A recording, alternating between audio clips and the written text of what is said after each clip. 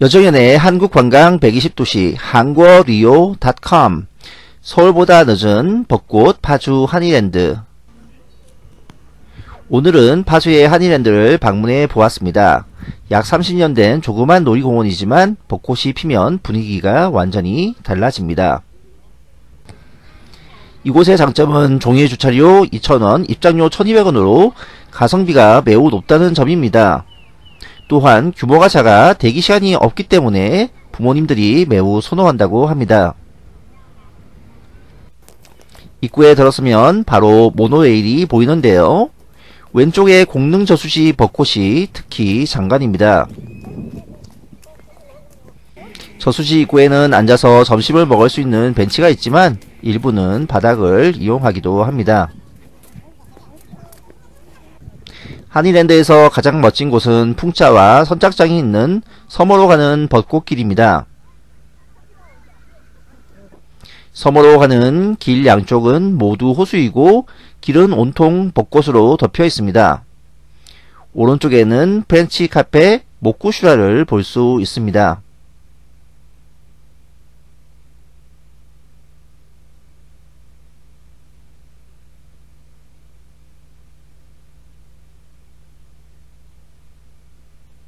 풍차가 있는 섬의 유람선은 운행하지 않는 경우가 많은데요. 사진을 찍기는 비교적 좋은 곳입니다. French 카페 모쿠슈라는 바로 갈 수 없고 차로 5분 정도 이동해야 합니다. 카페는 실내가 넓고 분위기가 좋은 편입니다. 특히 카페 앞에서는 많은 철새들을 관찰할 수 있습니다.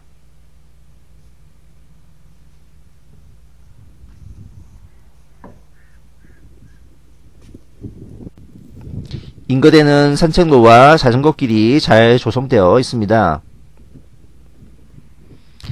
산책로의 끝에는 텄골 공릉 호수정이란 조그만 쉼터와 CU 편의점이 나타납니다.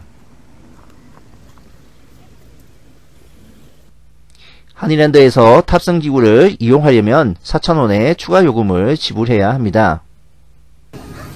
먼저 모노레일인 하늘열차를 타면 놀이공원 전체를 한눈에 조망할 수 있습니다.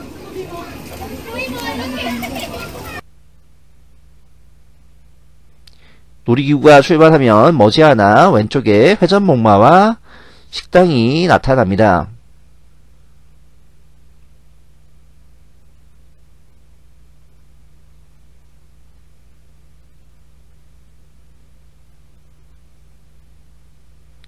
이어서 비행 중인 팡팡 코끼리와 바이킹을 바라볼 수 있습니다.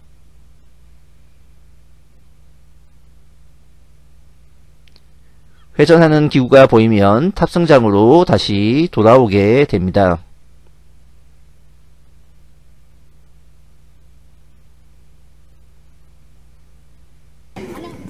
바이킹은 이곳에서 가장 인기가 많은 편입니다.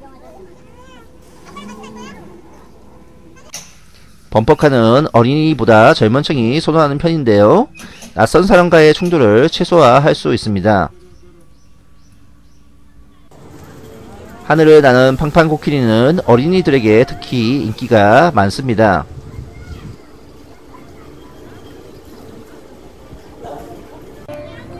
회전목마도 인기가 많은 편이지만 크기는 비교적 작은 편입니다.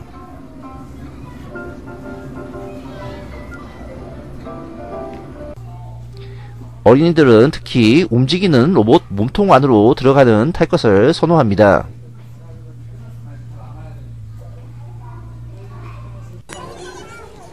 회전하는 기구는 큰 인기는 없지만 자유이용권 사용객들은 많이 타는 편입니다.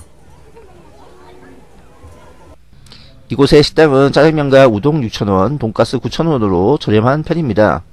다수는 4,000원의 김밥과 3,000원의 오뎅을 선호하기도 합니다. 이곳에서는 야영도 가능하지만 25,000원을 내고 미리 예약을 해야 합니다. 지금까지 파주의 공릉 유원지와 한일랜드를 살펴보았습니다. 한국 관광에 관심이 많다면 구독과 좋아요를 눌러주시고 채널에 있는 다른 재미있는 영상들도 꼭 감상해 주시기 바랍니다. 감사합니다.